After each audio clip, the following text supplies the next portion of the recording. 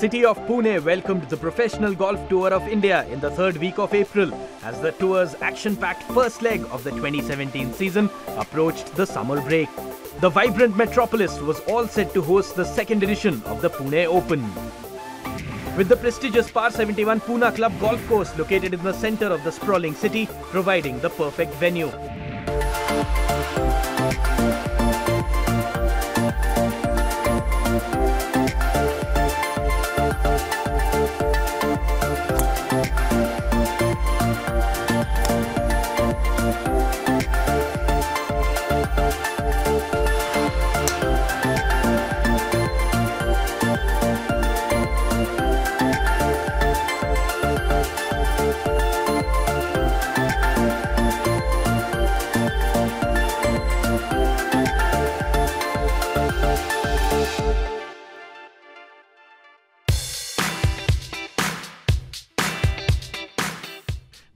PGTI was making its return to the Pune Club golf course after a gap of 5 years with the 30 lakh rupee prize money event Pune Open.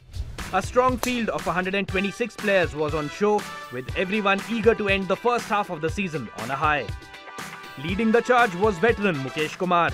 Having bagged yet another trophy the week prior to this event in Kochi, the man with the most wins on the PGTI was his confident self as he inched closer to his target of 125 professional wins. Hundred percent तो मेरे को यही है कि मैं जीतूँगा यहाँ पे भी। ऐसा कॉन्फिडेंस फील है मेरे को अपना आप में? क्योंकि गेम जब मेरा अपना होता तो वो अपने आप को बताता है कि मुकेश जीत सकता है या नहीं जीत सकता, अपना आप में कॉन्फिडेंस हो जाता है मेरे को। मेरी अपनी हिटिंग के ऊपर मैं ज़्यादा भरोसा देता है मेरे को क्योंकि मैं हिटिंग काफ़ी जब हिटिंग अच्छी करूँगा तो ऑटोमेटिक पटिंग में थोड़ा बैटिंग अच्छे होते हैं। तो इसलिए अपना आप में फील हो जाता है कि मैं जीतूँगा tournament Chandigarh's Harendra Gupta had won the Pune Open in 2016 in dramatic fashion on the final hole. With five top tens already in the bag in the current season, things were looking up for Harendra. But the tag of defending champion brought its own set of challenges. अभी थोड़ी pressure है जैसे कि last year में जीता था काफ़ी feel down में जीता था इस साल काफ़ी अच्छी परफॉर्मेंस है फील अच्छी है और थोड़ा प्रेशर है कि डिफेंडिंग चैंपियन हो तो इस टूर्नामेंट की थोड़ी प्रेशर है बहुत टाइप प्लेयर अच्छा खेल रहा हूँ मैं और काफ़ी अच्छी परफॉर्मेंस है Giving stiff competition to the two stalwarts was one of the young guns, Udayan Mane. After a lackluster season last year, the 26-year-old roared back to form with a win in Dhaka in March, which helped him calm a few nerves.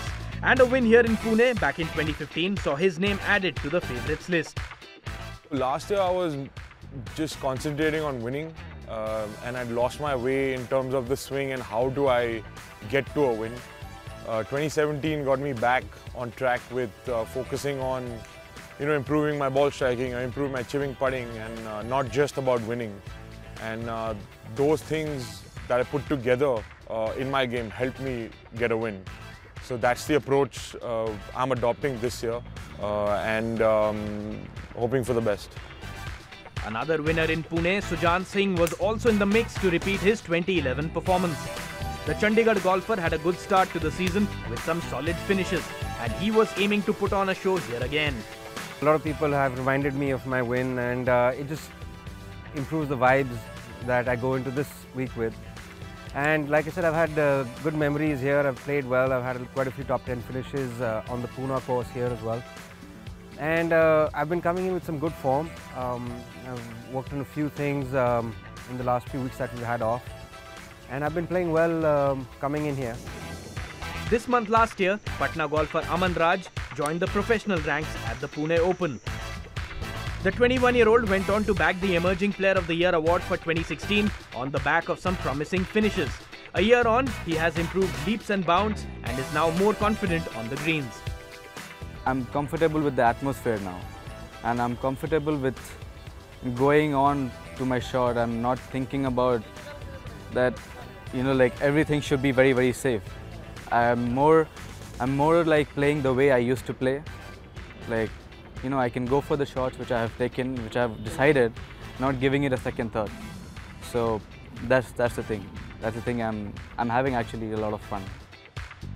The venerable Pune Club golf course was back in the professional fold after a break of almost half a decade. The 6,602 yard par 71 course had undergone numerous changes in the last two years and is now ranked as one of the top championship courses in the country. two years back we thought moving with the current times, we should upgrade it to latest things. We engaged the services of Mr. Phil Ryan, who's a world-known architect, a golf designer. And in two years, he has made certain changes in the, quite a lot of changes in the water bodies, making new bunkers, closing some water bodies. And uh, the course is playing beautifully. Fairways have become so beautiful to play. Greens have been improved. Sizes, greens have been made bigger also, some of them. And they are playing so uh, very little fast and we get the feedback from the professionals that the, this is being this is one of the best courses they have enjoyed. A tricky course setup coupled with hot weather conditions put forward a stern test for the players in their bids to take home the Pune Open trophy.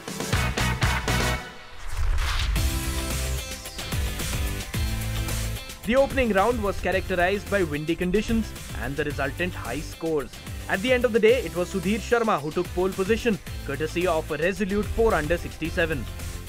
Hit it really close and I uh, drive it really fine. So I and made some good putt and just it was a decent start. I got a really good start. I made a good up and down from the left on the first hole, and then I birdied the second, and then I birdied the third, and then I bogeyed the fourth, then I again birdie the fifth. So it was a it was a perfect start, what I was looking for, and that's why I made I hold some good putts and it, I shot four under. A trio consisting of defending champion Harendra Gupta, Khalin Joshi and KPS Sekho were in tied second position at 3 under 68.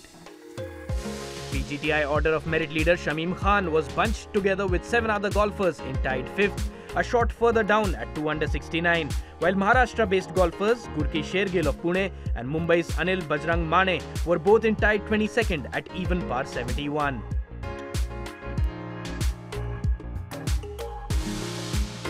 Tournament action continues on the other side and we talk to one of the budding golfers on the PGTI. Stick around.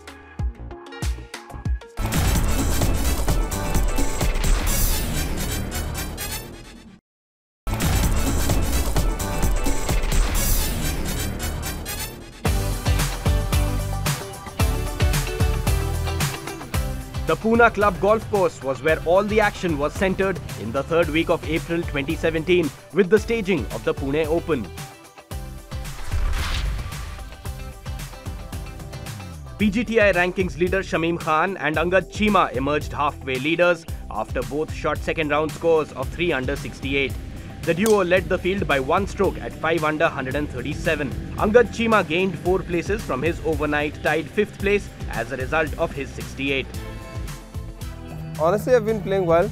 I worked a lot with my coach with when we had like these three, four weeks off.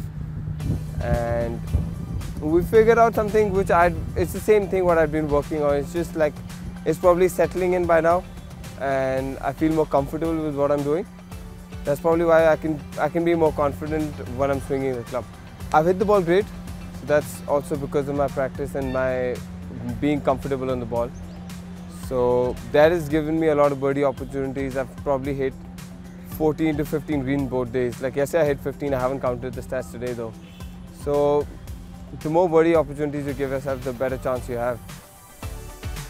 Shamim Khan, like Cheema, also followed up his first round 69 with a 68 to move up four places to joint first.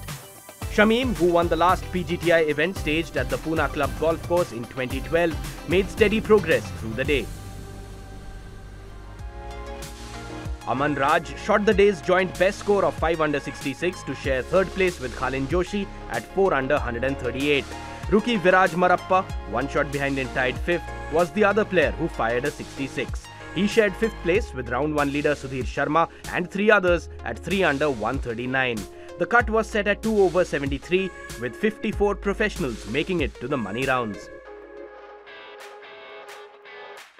Hi, I'm Viraj Madappa. This is my rookie season on the PGTI. The 11th season of the PGTI saw a few of Indian golf's top amateurs turning professional, and one of them was the country's highest ever ranked amateur, Viraj Madappa. The 19 year old's initiation into the game came at an early age in Kolkata, but his picking up the clubs was nothing short of a random thought.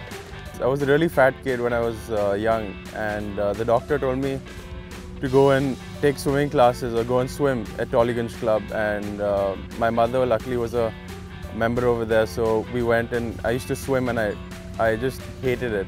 So I used to go finish my swimming, go to the clubhouse, eat pancakes, and then over there we saw uh, the members play on the 18th hole. And then I just told my dad, I want to play that sport. I didn't even know what it was.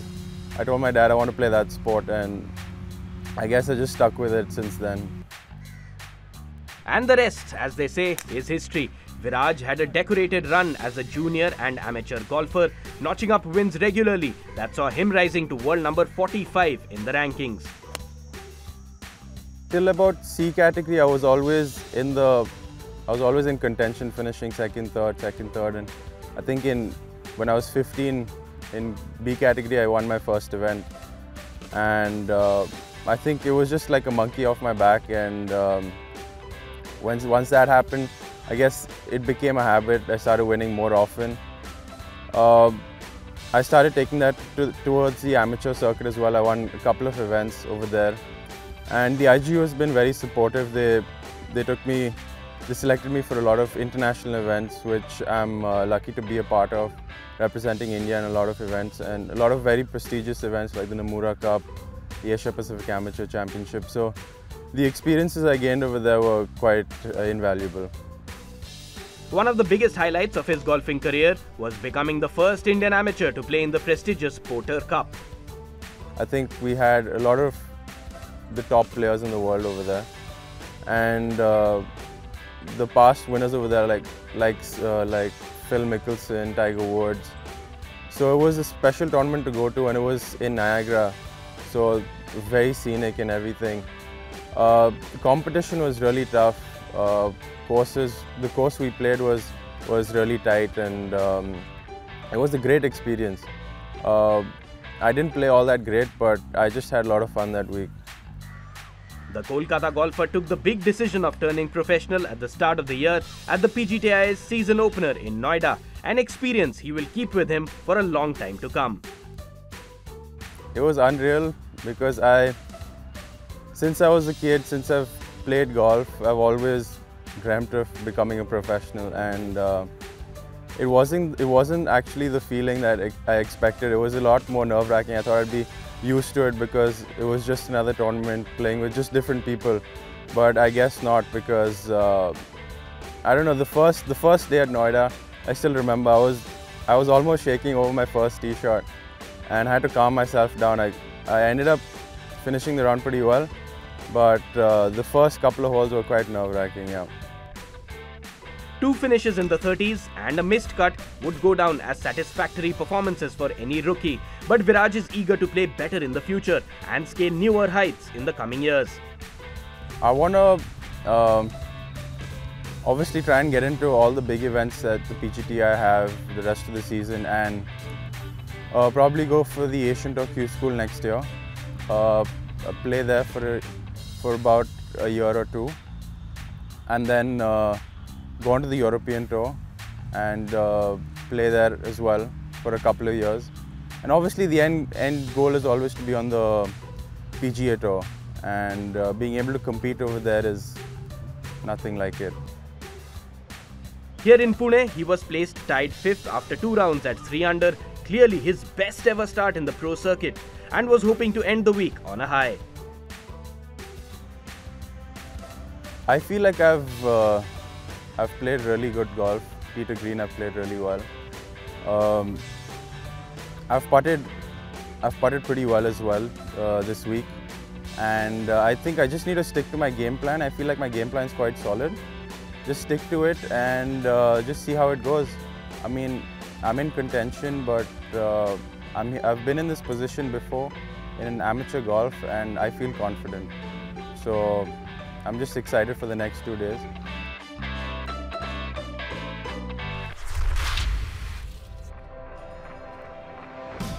The rookie faltered a bit in the penultimate round as he could only manage a 1 under card to take his overall tally to 4 under and tie for the 7th place with 4 other players. It was Mukesh Kumar who stormed into the third round lead thanks to a dazzling 6 under 65, the tournament's best score so far. that moved his total to 7 under 206. Mukesh set himself up nicely for a come from behind win for the second week running. The man who broke his own record by becoming the oldest winner on the PGTI at Kochi last week produced a breathtaking round to move up 13 places from overnight tied 14th.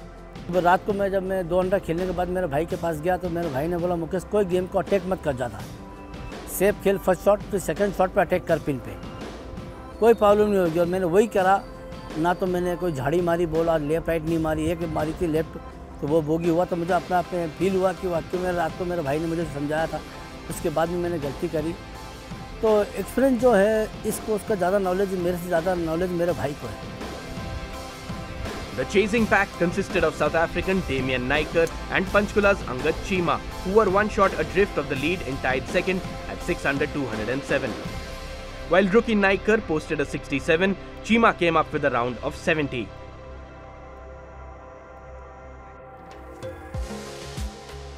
Shamim Khan, the joint overnight leader, shared fourth position with first round leader Sudhir Sharma and Samarth Dwivedi at 5 under 208. Last year's champion Harendra Gupta was in tied 12th place at 3 under 210. Pune's Saurabh Bhaduri was in tied 25th at 1 over 214, while the other Pune-based professional Samir M. Sheikh occupied tied 43rd place at 5 over 218. It was all set up nicely for a thrilling end to the tournament. Final round action is up next.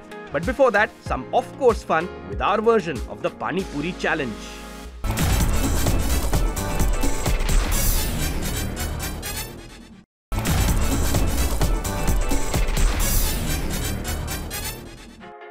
Par 71 Pune Club Golf Course played host to the second edition of the Pune Open in the third week of April 2017.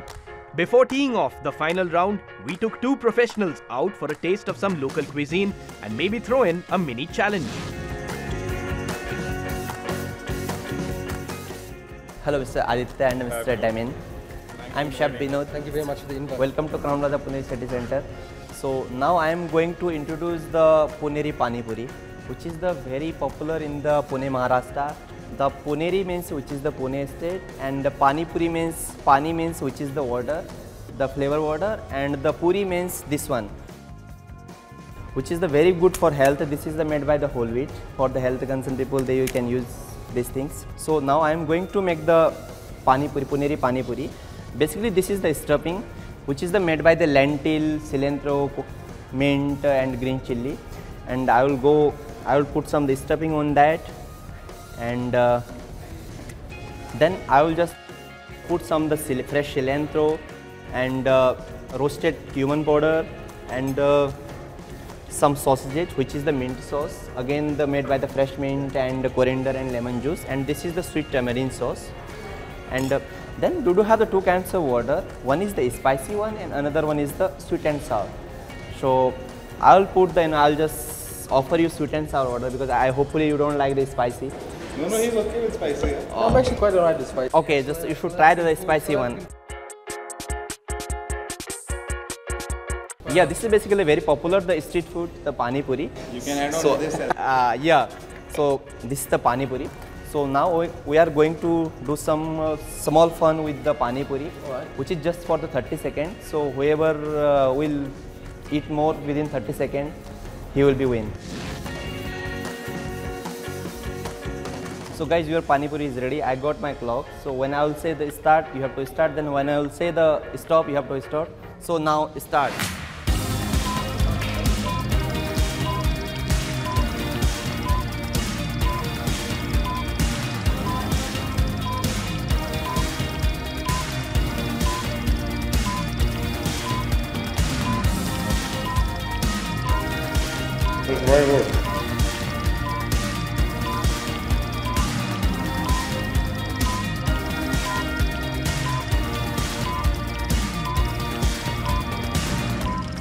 guys, stop.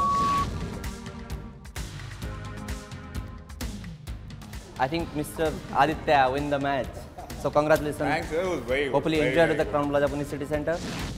I was told by some of the guys before that it's going to be an eating competition, so I skipped breakfast, lunch. I told actually, I was actually told it was going to be a cooking competition. So I came prepared with the sleeves up and. So he was going through YouTube. Yeah, I was ready to cook recipes and how to make pastries and, but, but uh, yeah, I mean this was uh, pretty pretty fun and I, obviously I went up against a great guy. So yeah, we enjoyed it. Back on the course on Sunday morning, final preparations were being made to put forward a tough challenge for the title contenders.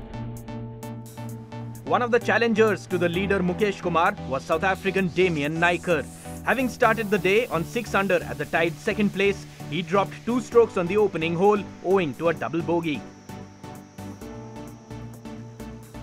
Mukesh, who was gunning for his 124th title, recovered from a bogey on the second with back-to-back -back birdies on the third and fourth to move to 8 under and stretch his lead at the top.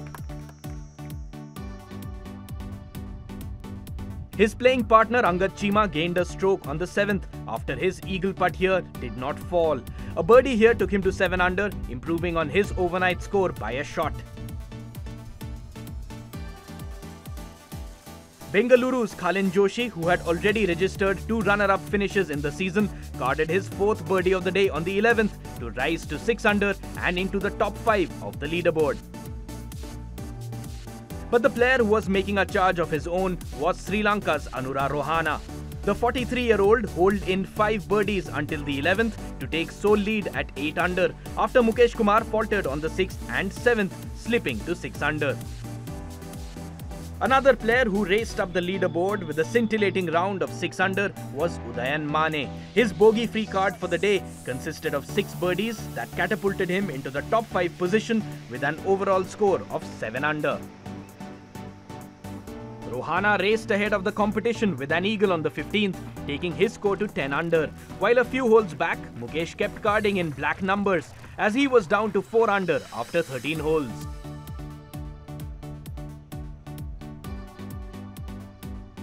Rookie Viraj Madappa, who was playing alongside Rohana, had a topsy-turvy round with a mix of 6 birdies and 3 bogeys that saw him carding 3 under for the day and finishing 7 under overall for his best finish on the pro circuit. Joining him on that score was Damien Naicker, who managed to recover from his early hiccups to card 1 under in the final round and join Viraj and Udayan on 7 under.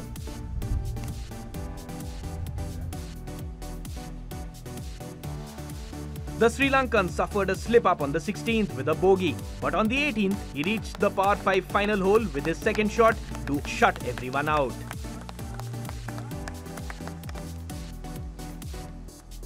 After missing his eagle chance, he birdied the hole to end the day at 10 under overall thanks to a scorching 6 under round and all but sealing the title. Angad Cheema, who was on 8 under after 17 holes, had to eagle the 18th to force a playoff, but he could only manage a par to end two strokes behind Rohana.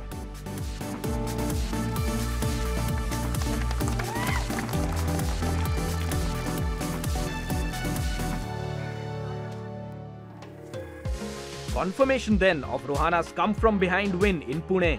10 under is what it took for him to get back to winning ways after a victory in the BILT Open in 2014. Khalin Joshi joined Angad Cheema at the tied second place at 8 under after his 5 under round of 66. There was a three-way tie for the fourth spot with Udayan Mane joining Viraj Madappa and Damien Naicker. Overnight leader Mukesh Kumar's disastrous 4 over final round saw him finishing at tied 11th with defending champion Harendra Gupta at 3 under. When I was coming to in the hotel, I was putting my locker the 65 today. I want to beat 65. I, if I want to go see, I can see 65 numbers there. And uh, I, was, I, had a good chance to winning play shot today, hole number 11. I missed my shot on the first shot, about uh, 125 yards I hit. The three wood I had duffed it. And after that I had 240 yards to the pin. I was giving, I was playing about, about three, four feet. I make birdie. That place I know I'm going to win today. I was playing this golf course um, really well and uh, my putting is very strong now. This is the point. I was hitting good and uh, I was putting is really good. I, was, I, I had a good feel with the putting. That is the point I had win. What a fabulous effort by the seasoned campaigner, fetching him his first title in two and a half years. That wraps up this edition of Inside the PGTI. Till next time, it's goodbye.